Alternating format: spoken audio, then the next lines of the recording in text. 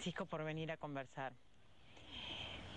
A mí eh, eh, lo que pasó en el Bagua me causó mucho dolor y entiendo que a todo el pueblo le lo leo mucho más.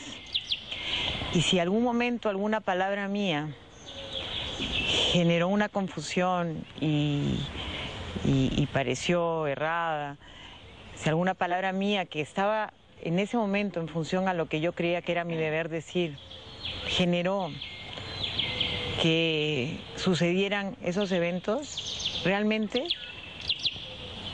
aún cuando me sé inocente, pido perdón, porque lo que merecemos los peruanos, el pueblo aguajún, que es peruano también, los hermanos aguajún, guampis, todos, eh, merecemos reconciliación, merecemos paz y una construcción de un país mejor. Yo, la verdad, quiero comprometerme con usted a seguir trabajando por el país y que en mi corazón, en mi corazón está ese dolor y quiero remediarlo con ustedes. Ahí estaba.